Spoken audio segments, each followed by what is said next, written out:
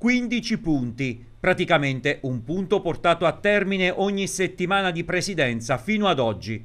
E questo è il bilancio tracciato da Luciano D'Alfonso che per i primi 100 giorni di presidenza ha voluto tracciare un bilancio completo e dettagliato. Dalle infrastrutture ai trasporti, alla valorizzazione del territorio, alla sanità, al sociale, alla riorganizzazione della macchina amministrativa.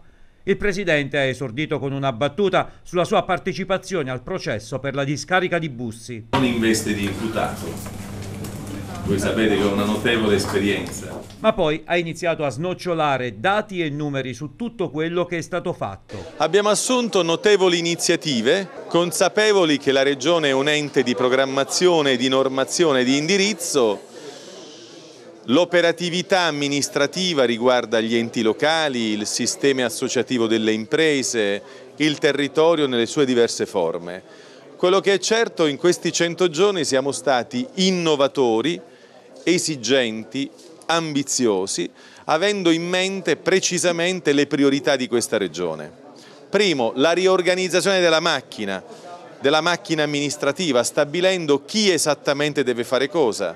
Siamo passati da 14 direttori regionali a 7 capi dipartimento e a un direttore generale sovraordinato che se sotto non accade nulla e si perde tempo, lui avoca a sé e realizza adottando provvedimenti. Nasce la figura del commissario realizzatore. Abbiamo stabilito 171 milioni di euro per i depuratori, perché noi abbiamo i fiumi più sporchi d'Italia che poi hanno reso anche per mesi e mesi non balneabile il nostro mare che è il parco più grande di cui dispone l'Abruzzo. Ci siamo occupati di finanziare la banda ultralarga. Abbiamo dopo 40 anni determinato la copertura finanziaria e progettuale della Fondo Valle Sangro che lo ha chiesto anche Marchionne la Fiat.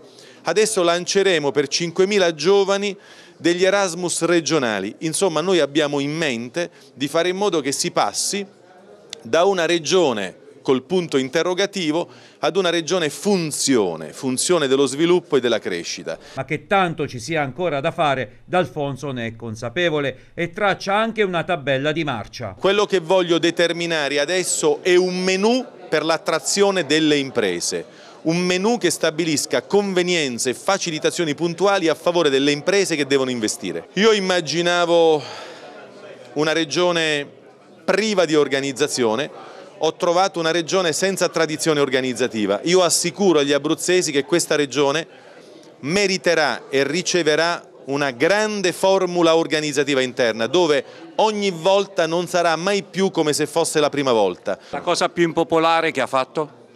Il rispetto di una norma del 2001 che stabilisce la compartecipazione per le prestazioni riabilitative. Alla fine non è mancata nemmeno una piccola stoccata a chi lo ha preceduto. Chiodi ieri ha detto che questo non è un Abruzzo veloce ma è un Abruzzo fermo, lei cosa risponde?